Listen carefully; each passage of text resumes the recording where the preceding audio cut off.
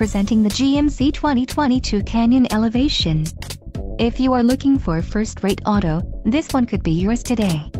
Enjoy these notable features, preferred equipment group 2LE, 4.10 rear axle ratio, 3.42 rear axle ratio, automatic locking rear differential, wheels, 18x 8.5 black painted aluminum, front bucket seats, cloth seat trim, heated driver and front passenger seats and not equipped with front heated or ventilated seats.